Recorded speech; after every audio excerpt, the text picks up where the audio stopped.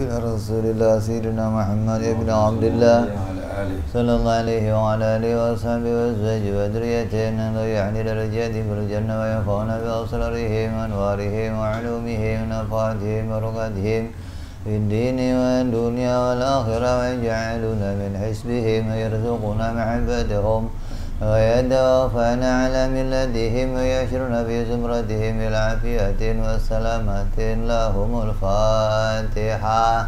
أعوذ بالله من الشيطان الرجيم. بسم الله الرحمن الرحيم. الحمد لله رب العالمين. الرحمن الرحيم. مالك يوم الدين. إياك نعبد وإياك نستعين. اهدنا الصراط المستقيم. صراط الذين أنعمت عليهم غير المغضوب عليهم ولا الضالين آمين. بسم الله الرحمن الرحيم. نويت التعلم والتعليم والتذكر والتذكير والنفع والاندفاع والإفادة والإستفادة. والحث على التمسك بكتاب الله وسنة رسول الله صلى الله عليه وسلم والدعاء إلى الهدى والدلالة على الخير ابتغاء مرضاته وقربه وثوابه وحسن الخاتمة مع اللطف والعافية وصلاح العاقبة. بسم الله الرحمن الرحيم. الحمد لله رب العالمين وبه نستعين على أمور الدنيا والدين. والصلاة والسلام على رسول الله سيدنا وحبيبنا وشفيعنا ومولانا محمد. صلى الله عليه وعلى آله وصحبه أجمعين أما بعد.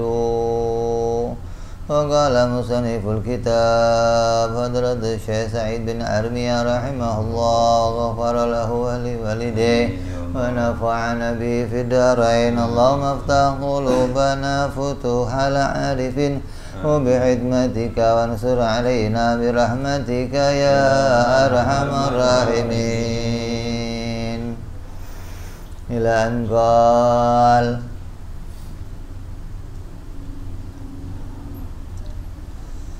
sampai pada ta'alluq.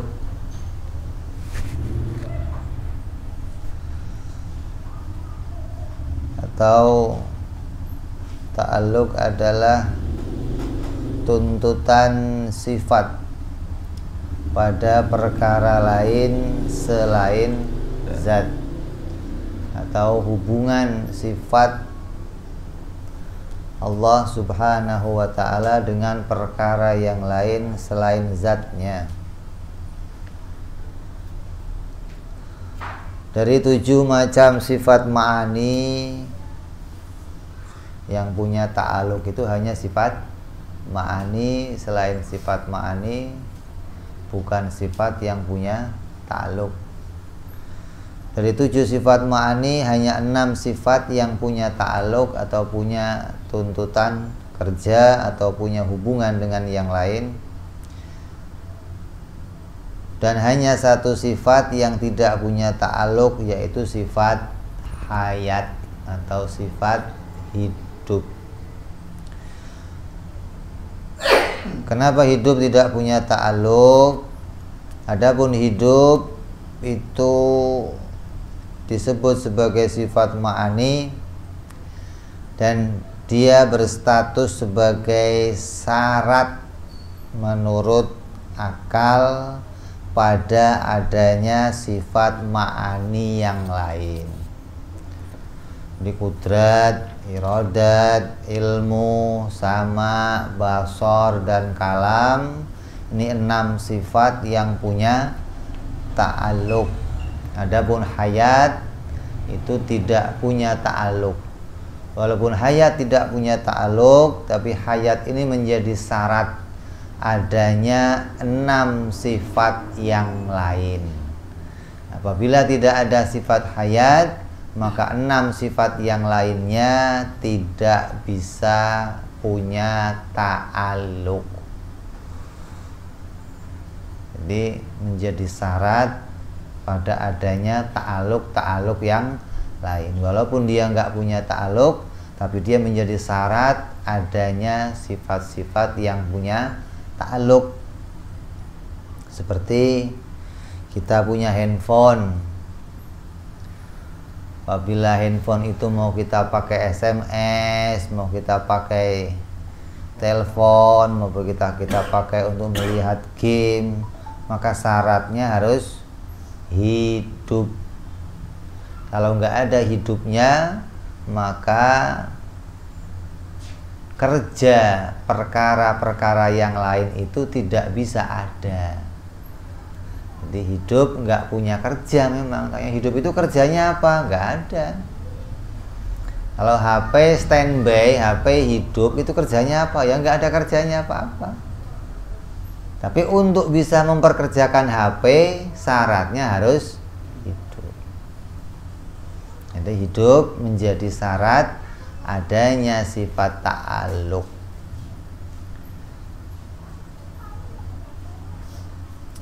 Maka dari sisi ta'aluk dilihat dari kerjanya enam sifat yaitu kudrat, iradat, ilmu, sama, basor dan kalam itu dibagi menjadi tiga macam ta'aluk.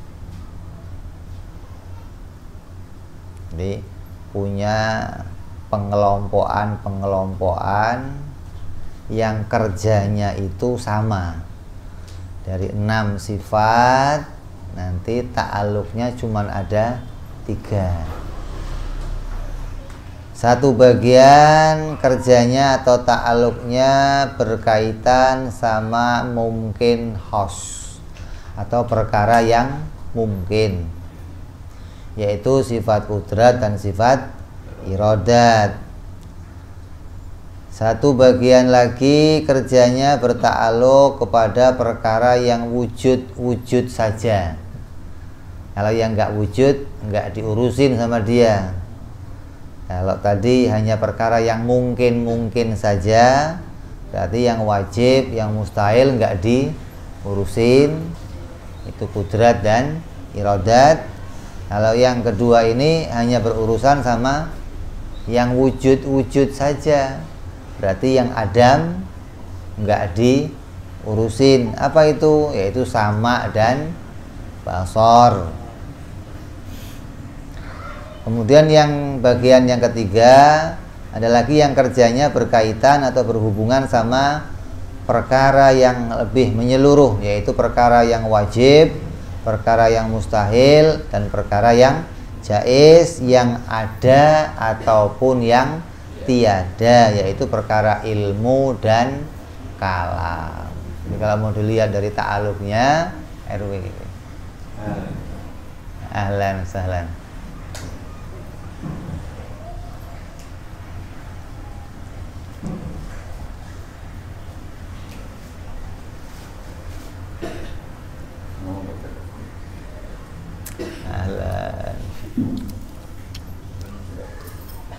Mau dilihat dari ta'aluknya yang paling umum adalah ta'aluknya sifat ilmu dan sifat kalam. Kenapa? karena sifat ilmu dan sifat kalam hubungannya menyeluruh kepada yang ada dan yang tiada. Yang wajib, mustahil dan jais kalau sama dan basor hanya berkaitan kepada yang ada saja. Walaupun juga umum dari wajib dan mustahil. Baik adanya yang wajib ataupun adanya yang mustahil. Yang paling khusus kerjanya adalah kudrat dan irodat. Hanya berkaitan sama perkara yang mungkin saja. Jadi kalau mau dikelompokkan mau dibikin bagian-bagian enam sifat tadi dibagi menjadi tiga bagian. Tiap bagian memasukkan dua sifat. Kudrat berkaitan dengan irodat kemudian sama dan basor kemudian ilmu dan kalam. Adapun penamaan dari kerja sifat-sifat yang tadi dibicarakan itu berbeda-beda nama kerjanya. Maka kita akan jelaskan secara terperinci. Yang pertama kerjanya kudrat. Walaupun sama-sama dengan irodat, sama-sama berurusan atau berhubungan dengan perkara yang mungkin, tapi nama kerjanya berbeda. Kalau kudrat nama kerjanya itu taksir. Taksir itu apa? Memberi bekas atau memunculkan atau menciptakan sifat kudratnya Allah atau sifat kekuasaannya Allah itu berhubungan dengan apa? Berhubungan dengan munculnya sesuatu. Di perkara yang tadinya nggak ada, kemudian menjadi ada, maka kemunculannya itu pasti berhubungan dengan sifat kekuasaannya Allah apa pun juga kejadiannya itu semua berhubungan dengan kekuasaannya Allah. Tidak ada perkara yang muncul yang tadinya nggak ada, kemudian ada, kok muncul tapi nggak berhubungan dengan sifat kuasanya Allah itu nggak mungkin. Seperti kejadian penembakan di Selandia baru. Baru. Ya berhubungan dengan kuasanya Allah. Allah yang memunculkan kejadian-kejadian tersebut kejadian di Palestina saudara kita dibantai di sono bertahun-tahun nggak habis. Ya itu berkaitan sama kuasanya Allah. Apa Allah nggak bisa sih beresin yang di sana? Eh? apa kira-kira nggak bisa diberesin orang Israel dimatiin semua gitu ha? Palestina langsung menang. Bisa nggak ya berhubungan dengan sifat kuasanya. Lah kok nggak begitu kenapa? Ya jangan ngatur Allah kamu. Kamu jangan ngatur Tuhan. Allah menciptakan apa yang dimauinya sendiri. Kamu nggak bisa ngatur. Loh kok masih Palestina itu kan orang Muslim semua? Kenapa kok disakiti dibunuhin di kok nggak Allah nggak ambil tindakan aja gitu, langsung dibalik gunungnya Israel mati semua gitu. Selesai. Namanya nggak panjang filmnya kalau begitu. Ini filmnya biar biar panjang. Mukidi mukidinya ini biar panjang. Apa hikmahnya? Oh hikmahnya banyak kejadian di Selandia Baru orang lagi jumatan selesai tiba-tiba dibasmi ditembak-tembakin. Apa hikmahnya? Oh banyak. Hikmahnya Allah akan memunculkan para pahlawan-pahlawan muslim. Allah akan memunculkan para pahlawan-pahlawan yang membela kemanusiaan. Jadi siapa nanti yang akan dimunculkan? Allah yang dia itu akan membela orang-orang muslim yang punya semangat menyelamatkan orang muslim, menyelamatkan manusia, ini yang akan dimunculkan Allah yang akan dinilai sebagai manusia yang diberikan keistimewaan. Kalau Loh kan Tuhan mampu ya kalau Tuhan mampu ya mampu banget tuh ya selesai semua kalau diurusin sama dia. Tapi nggak jadi hikmah apa-apa namanya. Jadi hikmahnya kita satu sama lain introspeksi diri. Apakah saya bagian dari orang-orang yang bisa berperan ke sana atau nggak bisa? Kalau saya kok nggak bisa berperan ke sana, lalu peran saya apa kira-kira yang bisa? Oh, saya kok bisanya doain, ya doain aja sudah, jangan ikut komentar macam-macam. Nggak usah ikut nyebar-nyebarin yang macam-macam, nggak usah ikut memprovokasi, nggak usah ikut sudah. Kok bisanya saya bantuin dana pengobatan ya sudah kirim pengobatannya ke sana. kok bisa bantuinnya tentang mensupport mudah-mudahan di sana dibela ya apa yang kamu bisa sudah namanya bentuk sebagai kepedulian kita berkaitan dengan kejadian yang diciptakan oleh Allah Subhanahu wa taala. Jadi segala kejadian apa pun yang terjadi di dunia ini semua berhubungan dengan kuasanya Allah. Lalu nanti kalau kejadiannya menimpa muslim Indonesia dibantai bagaimana? Ya itu ada kuasanya Allah kok kamu kok takut? Eh? Allah yang akan melindungi para hamba hambanya. Jadi kalau umpamanya terjadi di sini bagaimana? Ya nggak nggak gimana gimana, di mana saja bisa terjadi. Kalau Allah menghendaki itu terjadi, di mana pun akan mungkin terjadi. Tahu-tahu di Amerika terjadi bisa, tahu-tahu di Arab terjadi bisa, tahu-tahu terjadi di Indonesia bisa. Yang nggak terpikir di Selandia Baru aja yang aman-aman aja bisa terjadi begitu. Ini untuk Allah memunculkan apa suatu kejadian kemunculannya itu berkaitan dengan sifat kuasanya Allah dan apa pun yang dimunculkan dari sifat kuasanya Allah pasti mengandung hikmah. Lalu itu hikmahnya apa? Orang kok ditembak-tembakin, hikmahnya mau dimasukin surga cepet. Dan mati syahid sih.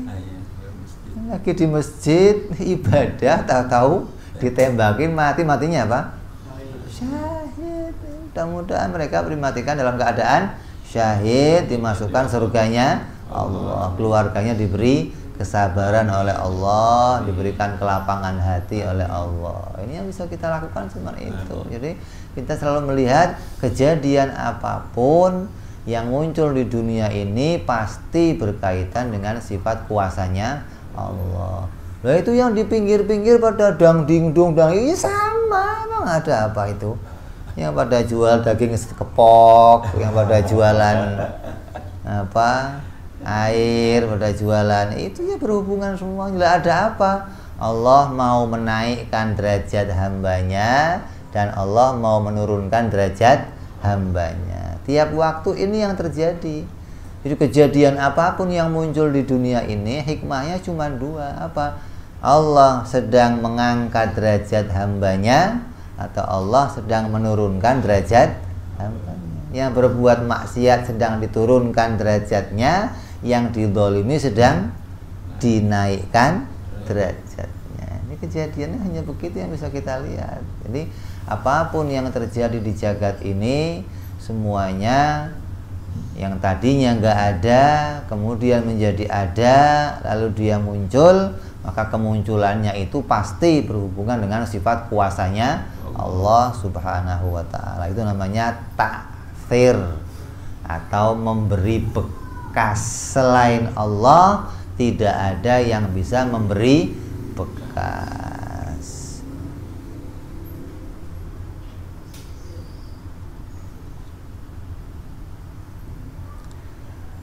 Lalu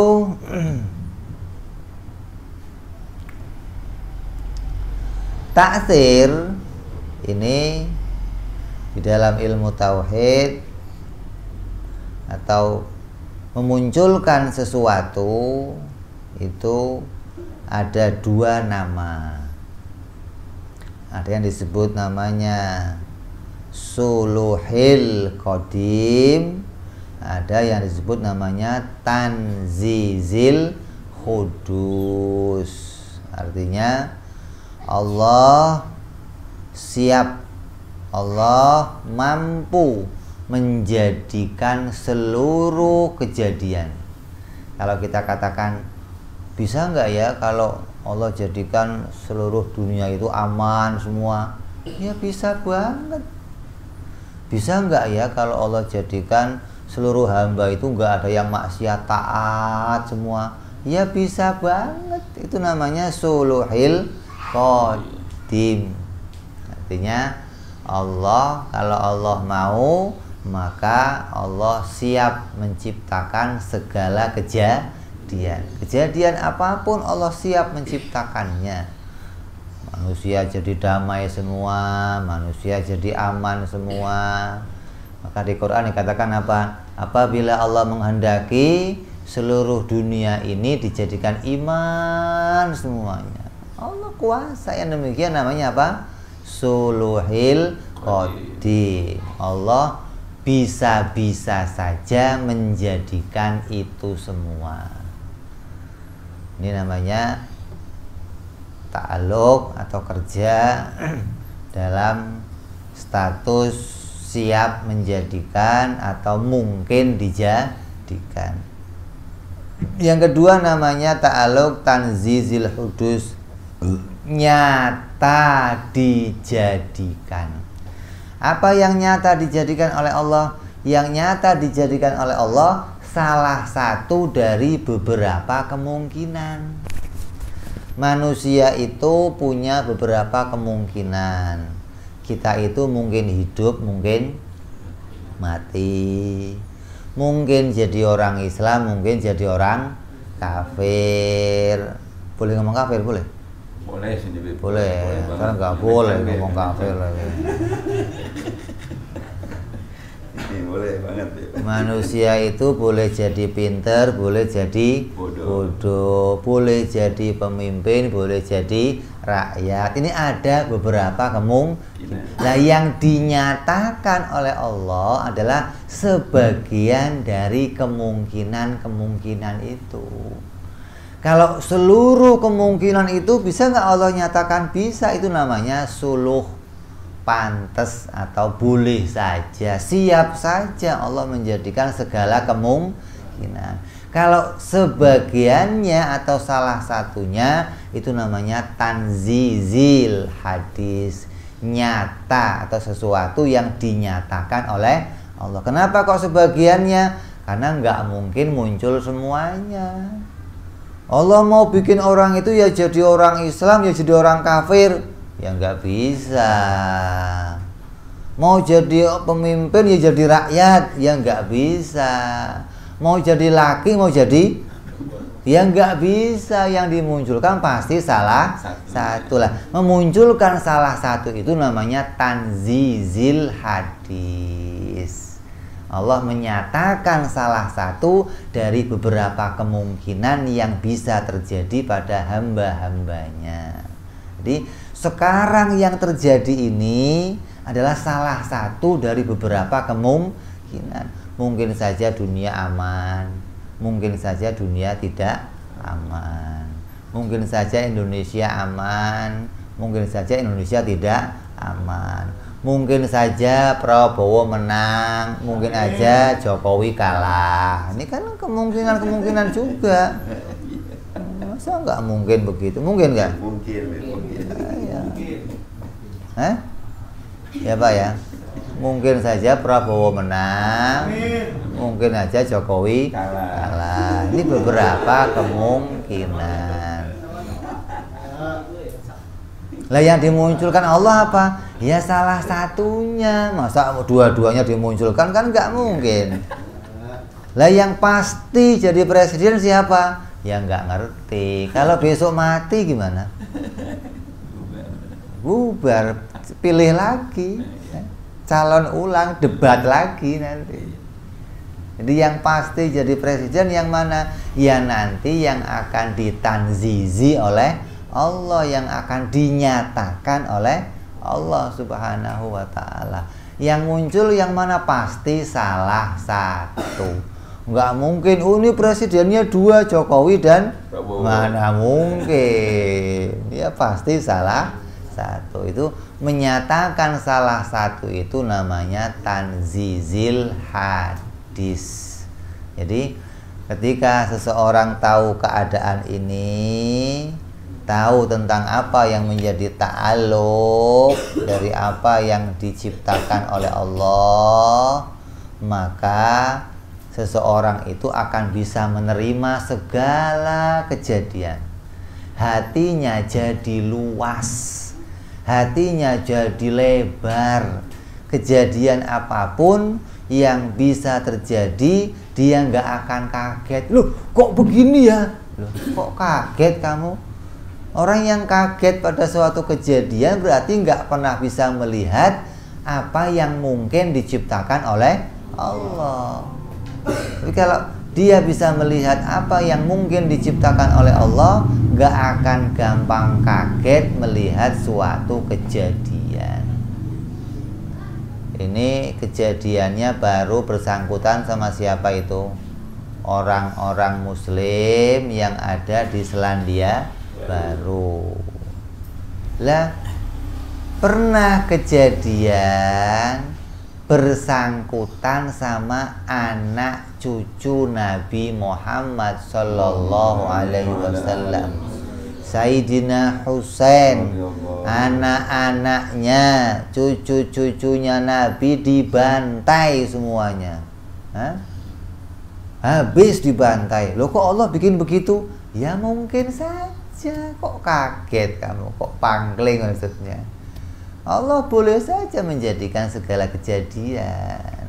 Jadi orang yang tahu pada takdirnya Allah tahu pada apa yang mungkin diciptakan oleh Allah itu nggak akan gampang kaget nggak akan gampang apa heran nggak akan gampang tertegun kok bisa ya? Ya bisa saja Kenapa? Karena kita melihat apa pun yang mungkin terjadi itu mungkin saja diciptakan oleh Allah Subhanahu wa taala. Dan dari setiap kejadian pasti membawa hikmah. Lah ini yang penting. Apa hikmahnya? Apa kemungkinan terjadinya itu apa? Begitu. Keuntungannya itu apa? Ini yang mau kita baca. Ini yang mau kita petik ini yang mau kita ambil. Jadi jangan heran melihat kejadiannya tapi kita melihat apa yang mungkin terjadi. Ketika itu muncul pasti berhubungan dengan sifat kuasanya Allah subhanahu wa ta'ala.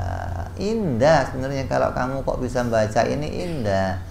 Kalau kamu bisa melihat ini kejadian apa bisa diterima ada satu ngomong kampret, satu ngomong apa? Cebong. Oh, itu urusan-urusan kecil.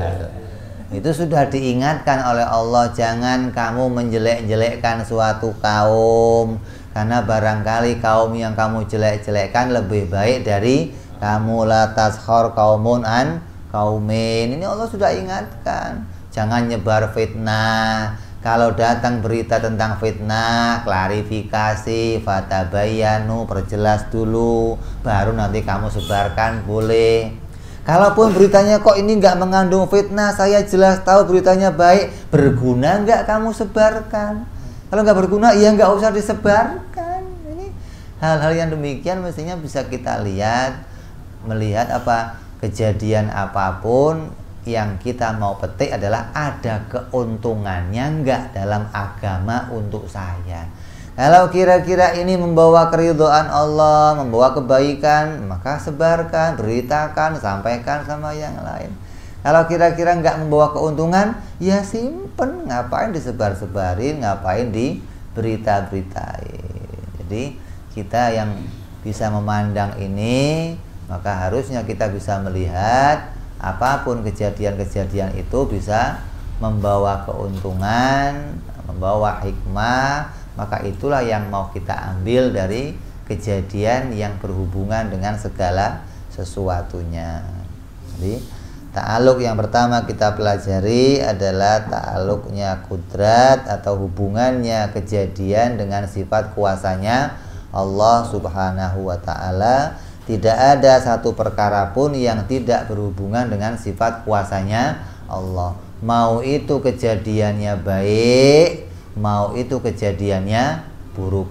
Mau itu ketaatan ataupun kemaksiatan. Mau itu bentuknya manis ataupun bentuknya pahit segalanya pasti berhubungan dengan sifat kuasanya Allah Subhanahu wa taala. Kenapa? Karena hanya Allah lah yang bisa memunculkan sesuatu dari tiada menjadi ada. Kan ayam. Hah? Orang kalau sudah melihat ini kejadian Allah yang bikin ayam kayak contoh begini. Kamu duduk di tengah orang-orang. Banyak. Tiba-tiba kamu ditowel ketika noleh kanan kiri semua diem semua. Kamu nggak tahu yang Noel siapa. Kan gedek ini siapa yang Noel? Iseng aja Hah? iseng aja lo ya. Towel lagi nengok diem semua. Tiba-tiba kamu sudah gemes lampu dimatiin. Digebukin kamu hmm, tambah gemes lagi kurang ajar ini siapa yang gebukin ini. Pengennya nih lampu dinyalain gua ngeliat siapa yang gua bales. Begitu lampu dinyalain yang gebukin kamu nggak taunya mak kamu. Kira-kira mau balas nggak kamu? Kira-kira mau balas yang tadinya gemes kayak apa lemes jadinya ya sudah nggak jadi apa jadi ketika kita sudah melihat kejadian apa pun kok kembali ini dimunculkan oleh Allah, maka akan hilang segala kemarahan, akan hilang segala dendam, akan hilang segala macam pernak pernik apa kebusukan hati hilang. Kenapa? Karena melihat ini kejadian dimunculkan oleh Allah Subhanahu wa taala. Jadi kalau kamu nggak bisa melihat ini ya selamanya akan muncul banyak di hati kamu akan muncul terus. Ya hasut ya tempatnya di sini dendam ya tempatnya di sini iri tempatnya di sini marah tempatnya di sini.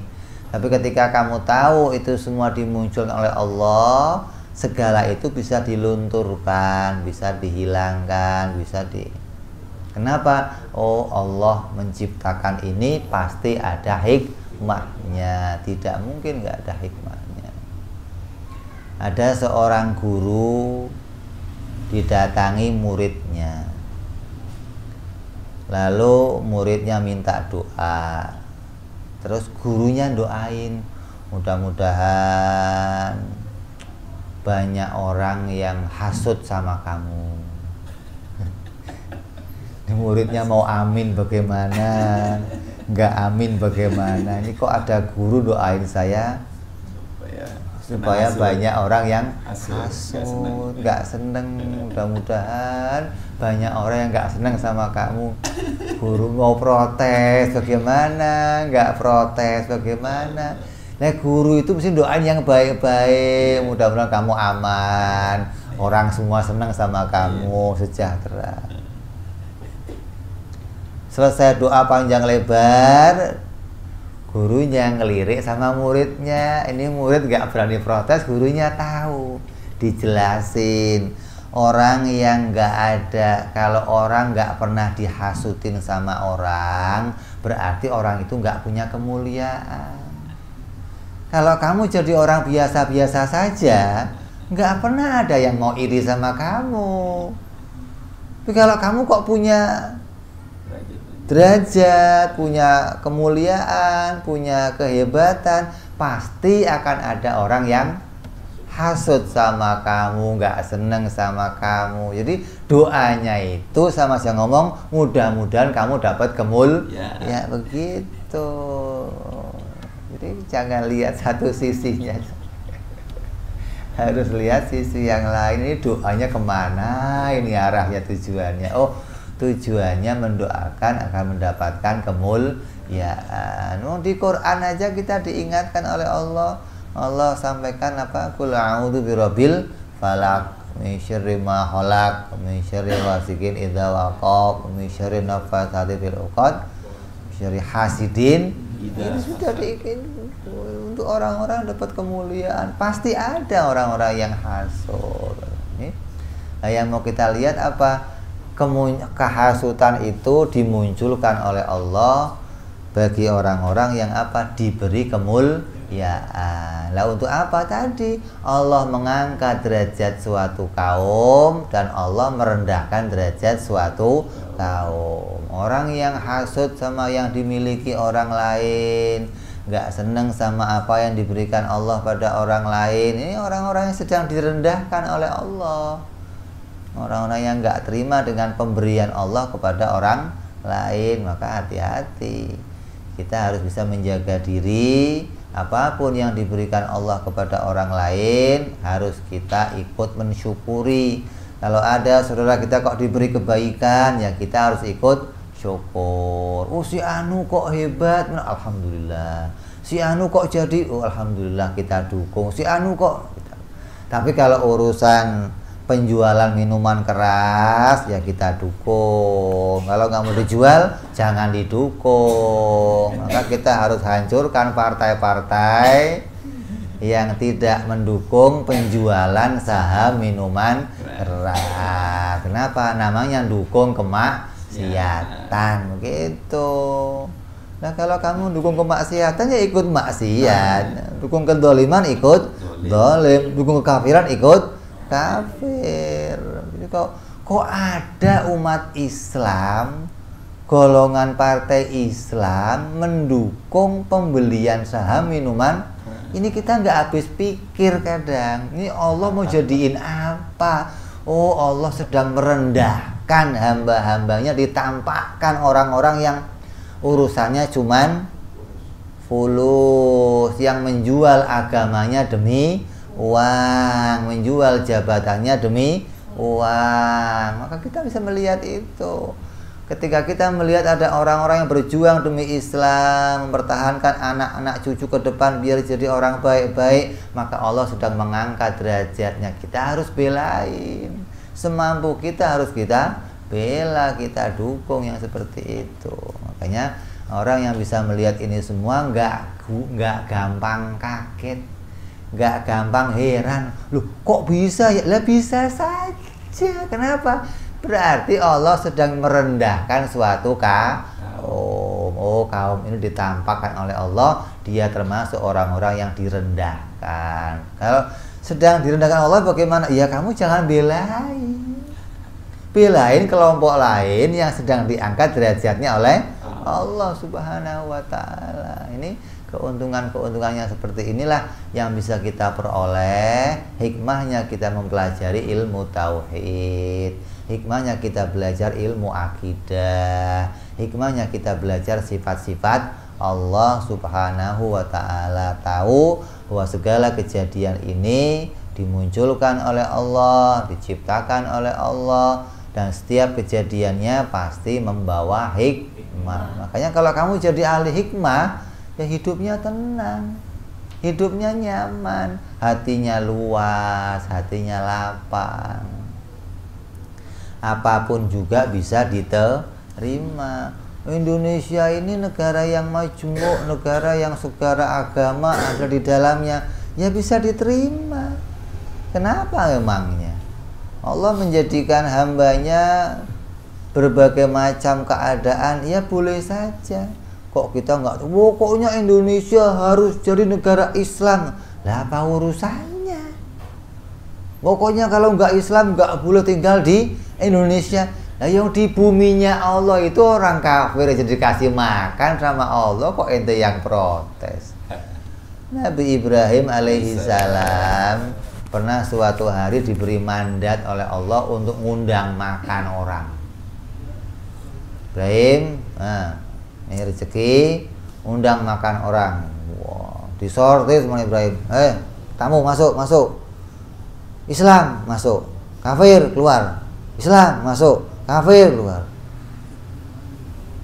Ditegur sama Allah itu kamu baru sekali saya kasih mandat saja kamu sudah milih-milih yang Islam kamu masukin yang kafir kamu kalau kamu mau ngundang makan, semuanya yang diundang makan. Mau yang kafir yang makan, yang muslim ya makan. Kenapa?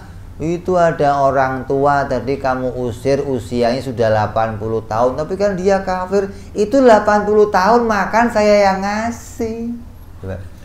Gak pernah saya sehari pun gak kasih dia makan. Padahal dia kafir. Gak pernah nyembah saya kata Allah nggak pernah nyebut nama saya, nggak pernah ngabdi sama saya, tapi saya kasih makan. Nah kamu baru sehari aja suruh ngasih makan, yang kafir-kafir sudah. Makanya kalau ada orang-orang Islam yang seperti ini kok menguasai Indonesia, ini bahaya.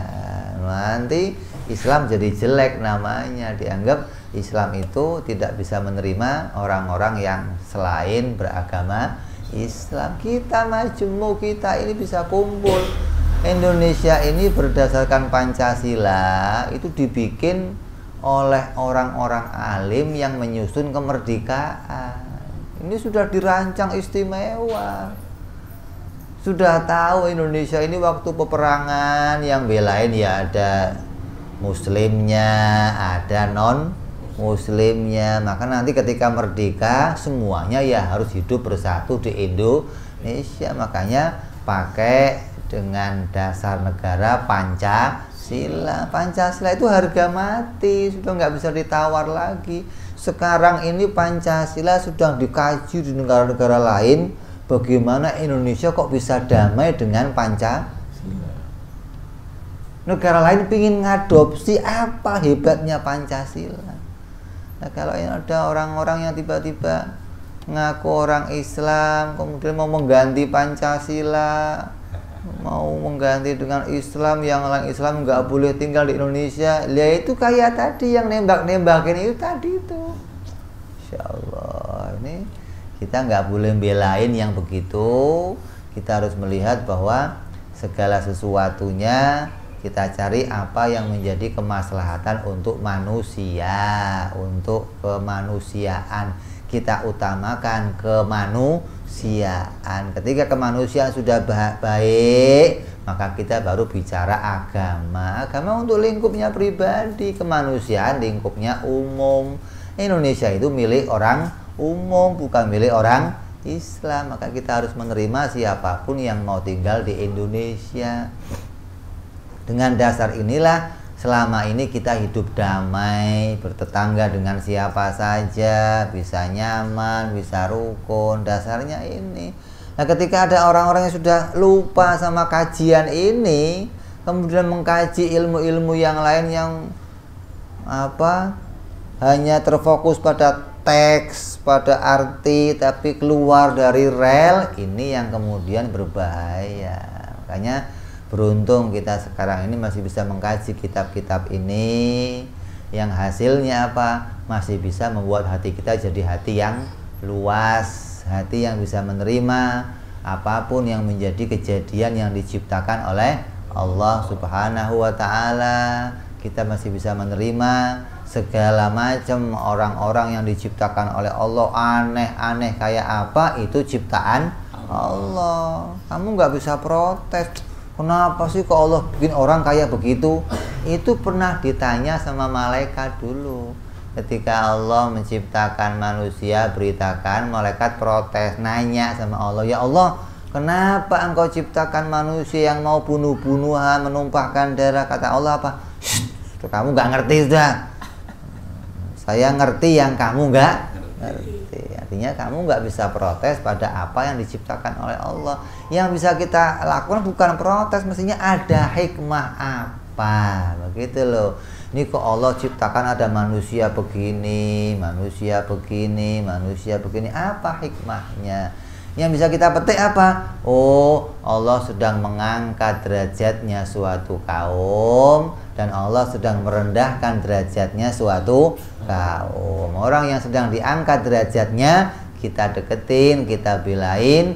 Orang yang sedang direndahkan derajatnya oleh Allah ya jangan kita belain jangan kita deketin. Jadi kita belajar hari ini tentang hubungan segala suatu kejadian dengan sifat kuasanya Allah subhanahu wa ta'ala Allah mampu menjadikan segala kejadian tapi apa yang sekarang terjadi adalah ditentukan oleh Allah salah satu dari sifat-sifat yang mungkin terjadi namanya tanzizil hadis.